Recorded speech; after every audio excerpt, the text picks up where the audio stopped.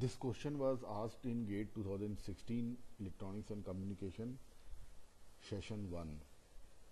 Question is m to the power 4 is i where i is, I is obviously identity matrix. M is not equal to i. M square is also not equal to i.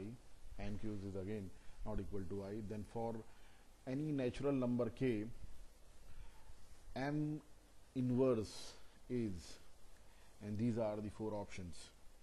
So see m m to the power 4 is identity matrix.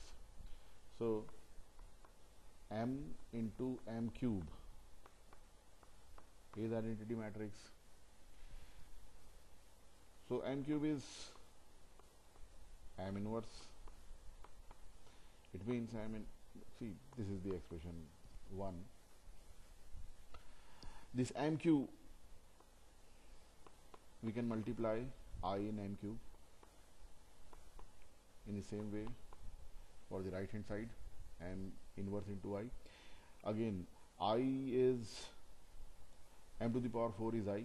So i can be replaced by identity matrix can be replaced by m to the power 4 in the right hand side it is m inverse.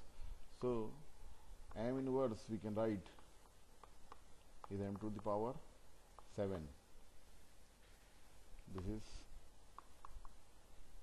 the second result. Similarly again you multiply identity matrix in both the sides. M to the power 7 into i.